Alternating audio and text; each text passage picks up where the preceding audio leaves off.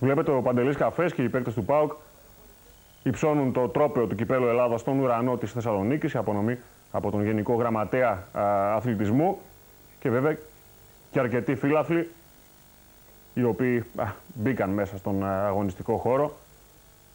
Πράγματα που δυστυχώς εξακολουθούν να συμβαίνουν στην ε, Ελλάδα. Μεγάλη χαρά πάντως για, τον, ε, για τους φίλους του ΠΑΟΚ, για την κατάκτηση του τροπέου, τέταρτου στην ιστορία. Και νομίζω ότι μπορούμε τώρα να επιστρέψουμε στον ε, Λευκό Πύργο. Βλέπετε κι εσείς, έχουν πυκνώσει οι τάξεις των φίλων του Δικεφάλου, που βρίσκονται κάτω από το πιο γνωστό μνημείο της Θεσσαλονίκης. Κλασικός τόπος πανηγυρισμό για επιτυχίες των ομάδων της πόλης. Είναι βέβαια αρκετά νωρίς ακόμη. Δεν έχει, από ό,τι όλα δείχνουν, συγκεντρωθεί ο όγκος των ε, φίλων του ΠΑΟΚ.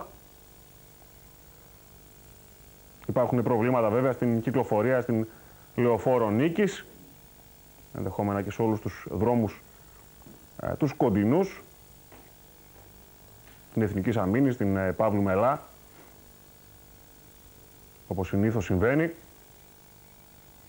Βλέπετε κι εσείς. Ένα πιο κοντινό πλάνο. Τα πράγματα δείχνουν σχετικά ήρεμα ακόμη.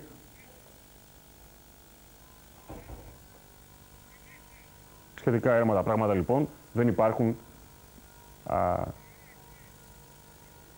πανηγυρισμοί ιδιαίτεροι ακόμα από τους ε, φίλους του ΠΑΟΚ. Σημαίες,